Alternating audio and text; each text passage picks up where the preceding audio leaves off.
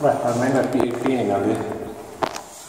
Eh. eh, non ti dico né di sì né di no.